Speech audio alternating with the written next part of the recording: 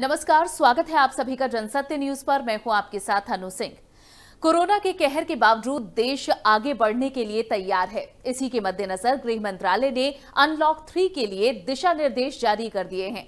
नई गाइडलाइन में रात के दौरान लोगों की आवाजाही पर प्रतिबंध हटा दिया गया है। नए दिशा निर्देशों के मुताबिक योग संस्थानों और व्यायाम शालाओं को 5 अगस्त 2020 से खोलने की अनुमति होगी।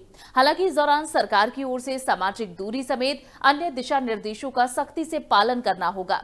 आइए जानते हैं अनलॉक थ्री में क्या मिली है राहतें और किन पर जारी रहेंगी पाबंदियाँ। कोरोना के बढ़ते मामलों के बावजूद देश अब अनलॉक फ़ेज़ के एक्सटेंशन के साथ आगे बढ़ेगा।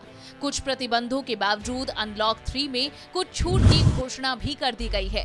हालाँकि, स्कूल, कॉलेज और अन्य शिक्षण संस्थान 31 अगस्त 2020 तक बंद रहेंगे।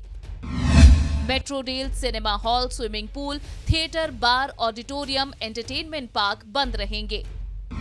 कंटेनमेंट जोन्स में पहले की तरह लॉकडाउन रहेगा।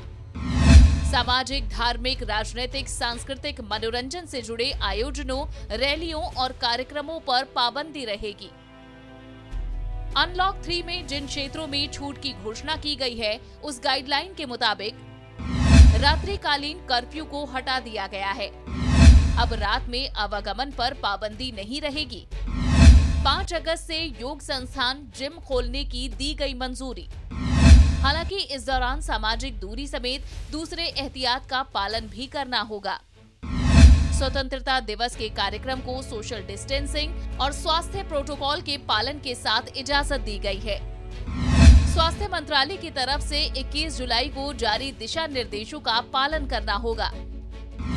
इस बार भी वंदे मातरम मिशन के तहत इंटरनेशनल एयर ट्रैवल को मंजूरी दी गई। सरकार की ओर से विशेष विमानों के आवागमन को मंजूरी दी गई। इसके साथ ही कुछ नियमों का पालन करना ज़रूरी होगा सार्वजनिक स्थानों पर मास्क पहनना अनिवार्य होगा वैवाहिक कार्यक्रमों में 50 से ज़्यादा लोगों को जमा होने की इजाज़त नहीं होगी अंतिम संस्कार में 20 लोगों से ज़्यादा के शामिल होने पर पाबंदी रहेगी सार्वजनिक जगहों पर पान, गुटखा, तंबाकू खाना प्रतिबंधित होगा।